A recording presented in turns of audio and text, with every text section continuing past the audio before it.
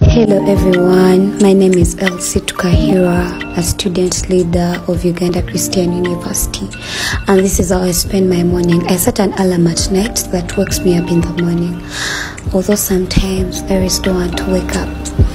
So when I see it, I switch it off and then I start my day. That is like at around 4.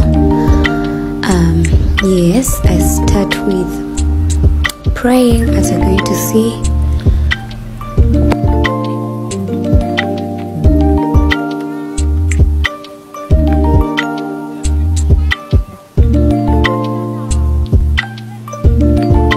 And then after I lay my bed, I make sure I lay my bed before I go to shower because it might be lazy for me to lay it after. So after laying my bed, I make sure I put whatever I want to put on on my bed so that I don't forget.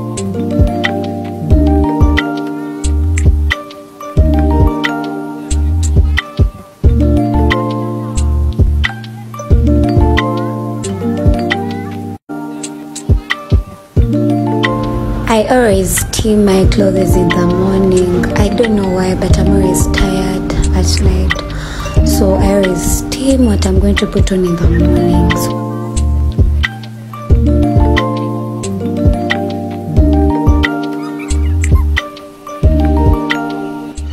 So after that, uh, I go to the bathroom.